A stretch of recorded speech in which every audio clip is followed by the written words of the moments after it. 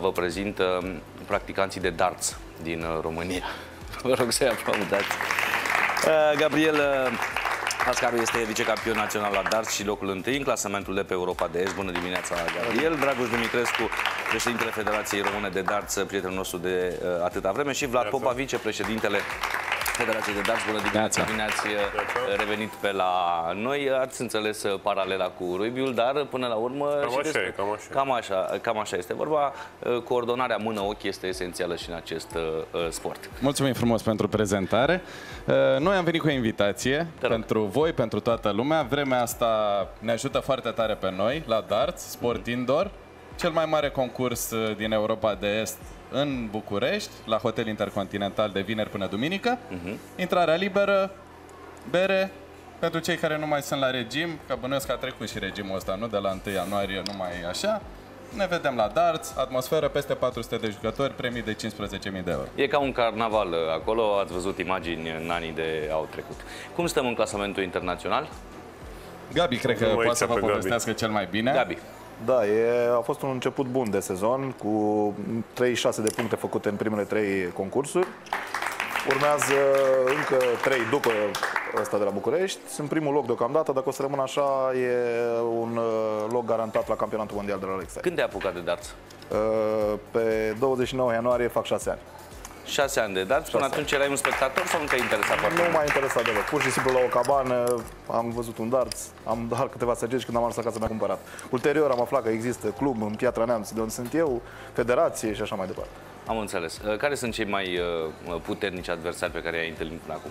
Cred că benglezi, mare majoritate, olandezi, acum mai noi sunt cei din partea de Europa care s-au apucat, sunt oameni care scriu pe tricou, joacă din 91, 90, adică poate chiar și mai mult. Adică au deja 30 de ani de darts. În șase ani de, de când practici dartsul, cam câte aruncări ai avut și la antrenamente și în competiții? N-aș putea să spun. Sunt uh, undeva la 3 ore pe zi de antrenament după muncă, pentru că la noi, față de alții, mai și muncim până la antrenament, până la concursuri. Și în astea trei ore, nu știu, chiar sunt foarte multe miliarde, cred că. El aruncă foarte repede, cred că are mult mai multe față de alții. Am înțeles. cum, uh, cum stă federația? Ce, ce gânduri aveți anul ăsta? Federația, eu zic că stă foarte bine, suntem în creștere. Anul ăsta chiar organizăm uh, în octombrie, în perioada 7-12 octombrie, organizăm campionat mondial în România, campionat mondial pe echipe naționale. Este cel mai mare concurs pe care poate să organizeze o federație națională. Vor fi aici... Este o mare recunoaștere că sunteți uh, în primul rând organizăm foarte bine. E, asta e recunoașterea cea mai mare și pe noi ne uh-huh. bucură foarte mult. Vor fi prezente peste 45 de delegații cu uh, masculin, feminin, uh, juniori, junioare. Va fi o competiție foarte mare. Multă lume vă pregătiți încă de pe încă, acum. Clar. Se, se vede un drum uh, bun. Gabi, arată-ne și nouă, două, trei uh, aruncări, după care uh, pe fetele noastre care sunt uh, care ne-au găurit platou în anii trecuți, de când nu să le mai lăsăm? Federația uh, a adus uh, jucătorii în platou, să le înveți două, trei aruncări. E la, la mare mod acum să se întâmple totul legal la ochi. Este destul de dimineață pentru darts. De la bul ca să... La bul încerc să fac o... Acolo, da, acolo știe toată lumea. țintei. Bineînțeles că l-am adus ca să vă arătăm cât de ușor este la darts, dacă campionul, vicecampionul național și campionul național din 2017 mai ratează, Putem și e, noi. E loc pentru... Asta a, a fost o informație foarte bună, e cam de vreme pentru darts, este ca la, hmm, este ca la muzică, nu prea poți să soliciți corzile vocale ale unui artist de cu dimineață, la fel și aici, uh, până își reglează ținta, până uh, uh, cum să spun, deschide bine ochii. Dartsul se joacă seara.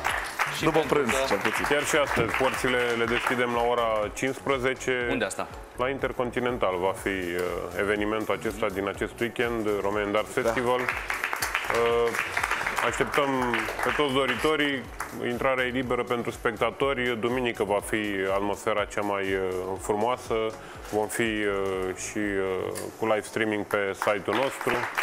Va fi o desfășurare de forță destul de Federație darts.ro, federațiedarts.ro, acolo prindeți și uh, informații, dar și, iată, uh, imagini. Uh, Flavia, Amalia, apropiați-vă, fiecare are dreptul la o aruncare. Uh, Gabi Uh, Teoretic vă spune despre ce este vorba. Cred că de pe Acum, undeva de poți să prin te zona apropii, asta, Flavia, ar nici trebui chiar așa. Adică, De pe aici, pe noi știm undeva? că pune piciorul acolo. Uite, deja are poziția din uh, emisiunile trecute. Voiam să vă spun că sunt 63 de fete înscrise la Romanian Darts Festival anul acesta Opa. și uh, e un număr record.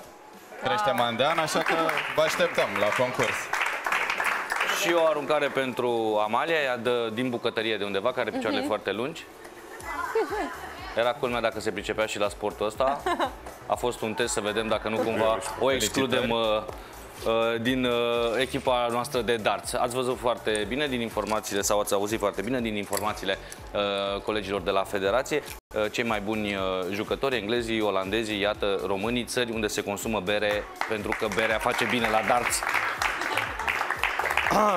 Luăm o scurtă pauză să încercăm și noi două, trei aruncări. Ne vedem la Intercontinental dacă sunteți amatori sau doar profesioniști. pauză, ne întoarcem la neața, rămâi cu noi.